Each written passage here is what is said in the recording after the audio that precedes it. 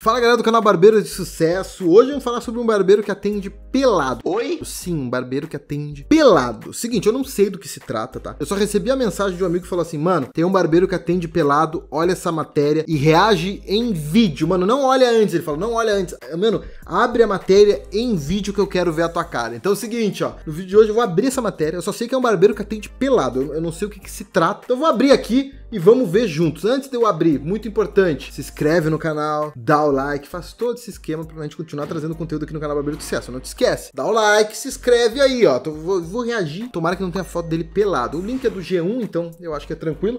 Então, vamos abrir aqui. Bom, acabei de abrir. Cearense se inspira em praia de nudismo e cria barbearia com funcionários e clientes nus. Ih, rapaz.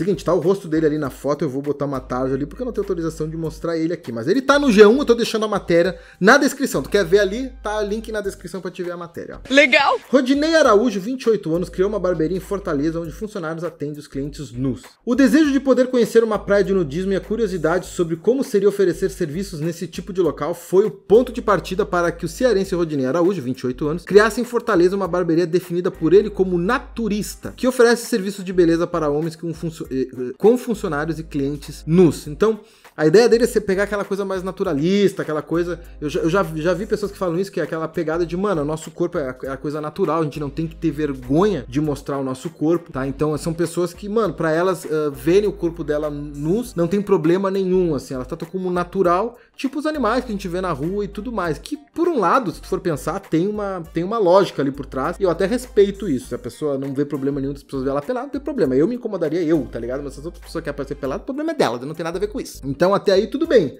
tá ligado? Tem uma questão que vai me pegar, que é a quesito da higiene e da segurança para nós de barbeiro trabalhar pelado, tá ligado? Porque, mano, eu trabalho em barbearia há anos, todo que quem assiste aqui também. Mano, é acontece direto de encravar um pelinho na mão, de encravar um pelinho no braço, em mim já aconteceu muitas vezes, de encravar pelinhos desse degradê até embaixo do dentro do sapato, dentro do tênis acontece. Então eu fico imaginando pelado, porque imagina quando tu termina um corte de cabelo, às vezes tu tá cheio de pelinhos e tu tem que jogar um secador e ficar grudando Imagina aqueles cabelos tu fazendo degradê caindo direto na tua pele.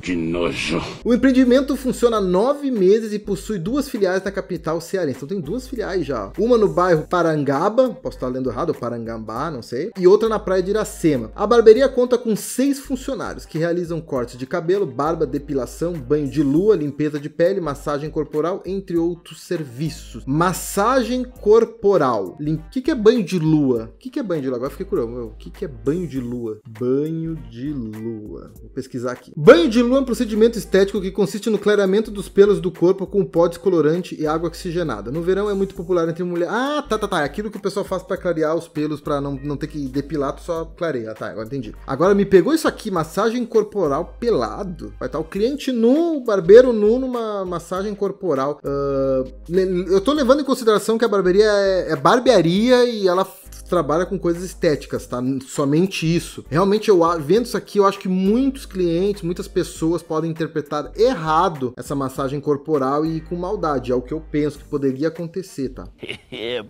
a concretização do negócio veio durante a pandemia, com a diminuição de clientes no espaço de bronzeamento da mãe de Rodney, onde ele trabalhava atendendo o público masculino. Sempre que via algo sobre o assunto, despertava a minha curiosidade. Um belo dia, vi a matéria de uma dessas praias e comecei a pensar como seria oferecer serviços nesses locais. Uma semi sementinha que ficou. Com a pandemia, os clientes foram se afastando. Conversando com um amigo barbeiro, joguei a ideia dele cortar cabelo pelado. Como assim? Mas tu tá atendendo o cabelo, teu cliente, mano, por que que tu não atende um cabelo pelado? E ele topou e comecei a divulgar o serviço. Tipo, mano, cortar cabelo pelado? Vamos cortar cabelo. Cortaria cabelo pelado? Cortaria, cara. Cortaria cabelo pelado, sim, cortaria. Cara, é um diálogo difícil de imaginar, né? Vamos lá. Procura pelo serviço. O empresário usou as redes sociais para divulgar a barbearia onde as pessoas podiam ficar peladas e, segundo ele, o serviço logo recebeu muitos homens interessados em conhecer o local. Com alta demanda, Rodinei alugou um espaço, fez um curso de barbeiro e também passou a atender o cliente. Ou seja, ele não era barbeiro. E não é barbeiro. Isso, a bagulho do pelado vem da barbearia, tá ligado? Podia ser qualquer coisa. Não, barbeiro, então. Comecei a fazer vários agendamentos. Você não tem noção do tanto de tabu que a gente quebrou. Tanto de tabu, tá pelado não é um tabu. Só as pessoas não, não, não ficam peladas. Não tem nenhum tabu nisso. Ficar pelado não é tabu. Ficar pelado em público é tabu. Gente que tinha vergonha do próprio corpo e quando cheguei aqui se sente à vontade. A gente desconstrói esse bloqueio do corpo. Afirma. Como é que tu desconstrói o bloqueio do corpo? Só corta cabelo, mano. Só corta cabelo. Não tô entendendo. É barbearia. O cara atende pelado. Como é que. Não tô entendendo isso aqui. No início, ele teve dificuldade de encontrar outros profissionais que aceitassem trabalhar sem roupa, pois muitos tinham vergonha. Para preservar a imagem dos funcionários que aceitaram, ele passou a adotar apelidos que são usados também no marketing da empresa para atrair clientes. Então é muito difícil de conseguir barbeiros que queiram atender pelado, eu imagino por quê, porque eu também não aceitaria. E eu tendo a imaginar que ele teve que procurar pessoas que não são barbeiros para trabalhar aqui, mano. Eu tendo a pensar isso, porque teve que treinar as pessoas para ser barbeiro. Nem ele era barbeiro. Já é difícil achar barbeiro bom no mercado de hoje, né? Já é difícil. Imagina tu achar um barbeiro bom que não esteja trabalhado, que top trabalhar pelado. Isso é muito específico. Entre aspas. Não posso esconder o fato que muita gente vem através do fetiche. Ah, tá. Isso aqui é óbvio. E no começo os profissionais não queriam ter a identidade re re revelada.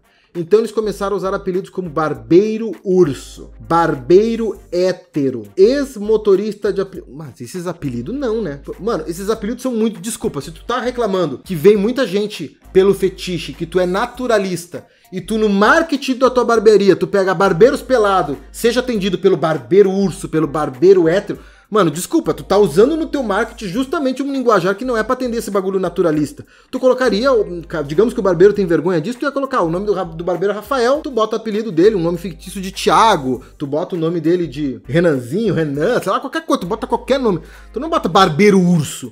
Ah, mano, não posso negar que tem vindo gente por causa do fetiche. Aí no marketing, porque é o que ele falou aqui, ó. Falou antes aqui, ó. Ele passou a adotar apelidos que são usados também no marketing da empresa. Ou seja, no marketing ele tá reclamando que vem pessoas pelo fetiche, né? Está com, falando que, que não é essa a ideia, porque a ideia é ser naturalista, mas no marketing ele coloca lá, seja atendido pelo barbeiro urso. Aí não tem como, né? Aí tu não tá me ajudando a te ajudar. Tá, barbeiro urso, barbeiro ex-motorista trago o povo pela curiosidade, mas sempre tento mostrar que é um trabalho normal. É um trabalho tranquilo. Se é um trabalho normal, tu não bota o apelido do teu barbeiro de barbeiro urso. Desculpa. Desculpa, não é. Se tu acha natural, tem, tem que traturar, que é isso que tu colocou lá no começo da matéria. Trabalhar naturalista. Então tu vem com esse bagulho de natural. Tá? Tu não bota o nome do cara barbeiro urso, porque tu tá é, é, meio estranho, tá ligado? Se tu botar barbeira junto para trabalhar pelada, que não tem problema nenhum, tu poderia fazer, vai lá e bota um nome sugestivo assim de, sei lá, barbeira hétera. Porra, não, não, tá errado, tá ligado? Uma coisa não tá, tá, tá em conflito com a outra. Eu pensando como se eu fosse contratado, tá? Vamos continuar. Os clientes têm a opção de ficar sem roupa ou, se preferir, ficar de cueca, roupão ou toalha. Porra, cortar o cabelo de roupão de cueca. Mano, imagina encravar um pelinho no. Meu ovo! Deus, meu Deus, que agonia. Mano, isso aqui quebra todas as regras da biossegurança possível, mano. Todas as regras da biossegurança possível. Como é que isso aqui é. Não tem como, mano. Cortar, cortar cabelo pelado. Agora eu tô absorvendo a ideia, não dá. Pro cliente é pior ainda do que pro barbeiro. O barbeiro, se tá encravado, tudo beleza. Agora o cliente, mano, pelado, Puta merda, mano. Imagina pelo. Porque a capa não protege 100%, né? Sempre vaza um pouco, vai vazar pelo pra dentro, vai cair nas coisas do cara, vai encravar dentro do bagulho, meu Deus. Tá, os clientes têm a opção de ficar sem roupa, se preferir ficar de cueca, roupão ou toalha. Já os funcionários sempre atendem nus. Para garantir a experiência sem transtorno, Rodiel adotou algumas regras no estabelecimento que devem ser seguidas pelos clientes. A regra principal é não poder tocar no profissional. O fato de tirar a roupa não quer dizer que você pode fazer o que quiser. Tá, isso é capitão óbvio, né? Capitão óbvio. Ficar sem roupa dá liberdade no meu corpo e não no da outra pessoa. Tá aí tudo bem, até mesmo com roupa, sem roupa, isso aqui eu concordo 100%. É aquela coisa, tu bota lá barbeiro urso no marketing, reclama que vem tarado e bota a regra que não pode ser tarado, mas tu no teu marketing tu atrai tarado, vai entender. Também tem as questões das fotos. Qual o problema das fotos? Tu é naturalista, não tem problema tirar foto do pelado. Ué. Tem pessoas que vêm com a malícia de querer filmar escondido. Por isso a gente inibe o uso de celular, para ser usado só em casos extremos. Como assim? O cara vai na tua barbearia não pode usar celular? Assim a gente preserva a imagem dos clientes. Conforme Rodney, 60% dos clientes que vão ao local são turistas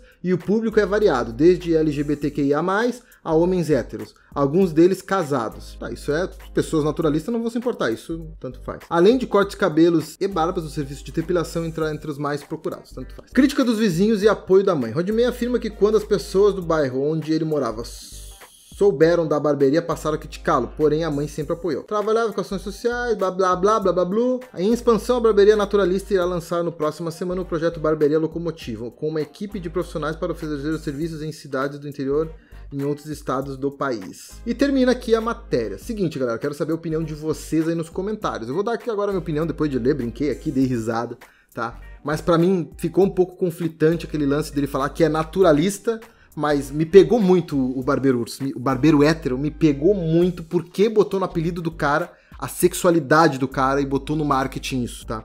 Isso foge dessa ideia naturalista, porque a ideia do naturalismo, pelo que eu, o pouco que eu sei, eu sou ignorante, me corrija, se tu é naturalista, me corrija aí, é tratar isso como natural, tá? Não, não sexual, não tem sexualidade. O pessoal vai num praia de nudismo, não é porque as pessoas veem o corpo como uma coisa natural, como tu vê meu cotovelo, tu não sexualiza aquilo. E aí tu vai no marketing, bota apelidos que te puxam para esse lado, me pega um pouco, parece que não, não tá conversando as duas coisas. Somos natural, tudo mais, mas a gente bota apelido no nosso barbeiro de barbeiro hétero, barbeiro, barbeiro urso. Me pegou, me pegou bem, me pegou, tá? Eu, como barbeiro, nunca trabalharia assim, por quesito de bio. Ah, primeiro, porque eu tenho vergonha do meu corpo, tá? Eu sou, eu sou muito reservadinho pro meu corpinho. Mas, além disso, a questão da biossegurança mesmo, né, galera? Como a gente sabe, tra... mano, eu, eu, criti... eu não trabalho de chinelo, critico o barbeiro que trabalha de chinelo. Já acho perigoso. Caiu uma lâmina, caiu uma tesoura Mano, é, encravar pelinho. Imagina trabalhar totalmente pelado, tá? Imagina trabalhar totalmente pelado. Realmente fica muito perigoso. Imagina se eles não usam calçado, pior ainda.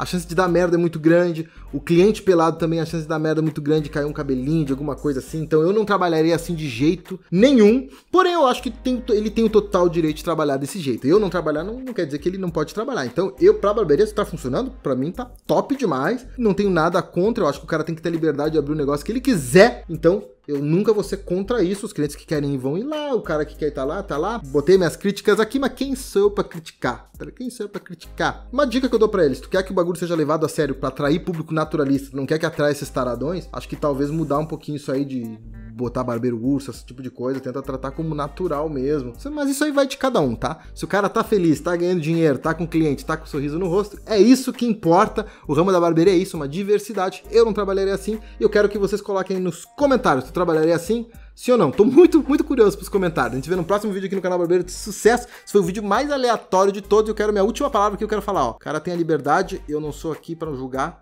ninguém, tá? Aqui é um vídeo para entretenimento, pra gente se divertir, beleza? Só pra gente se divertir. O cara tá feliz, tá tudo certo. Muito obrigado, valeu e fui!